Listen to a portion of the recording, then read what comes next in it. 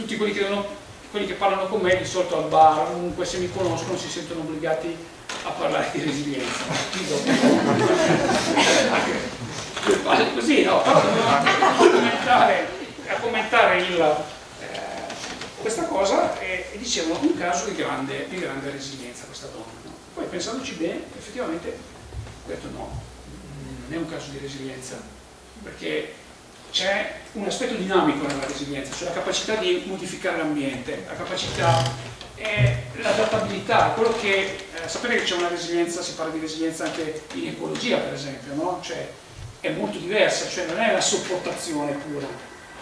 Questo atleta per esempio non è nato così, no? quasi tutti i paraplegici che fanno, che fanno sport sono persone che avevano una vita normale prima e poi eh, per colpa di un, incidente finiscono sulla sedia a rotelle e effettivamente eh, riescono, nonostante eh, un evento negativo che ferma la vita del, della gran parte delle persone quando succede o la cambia in maniera peggiorativa, invece a trovare delle nuove sfide, a fare delle cose che magari non si sarebbero mai sognati di fare, no? come il, caso del soggetto di questa foto.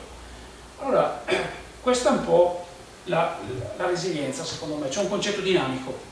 Siamo in Skill e tra breve comincerà un, non so se definirlo, un seminario sul concetto di resilienza, quindi eh, la resilienza è una capacità umana trasversale che è stata studiata beh, da, da, me moltissimo nelle applicazioni sportive, però eh, in realtà è utile in qualsiasi campo diciamo, delle attività umane e credo anche eh, in campo della vendita sia estremamente importante.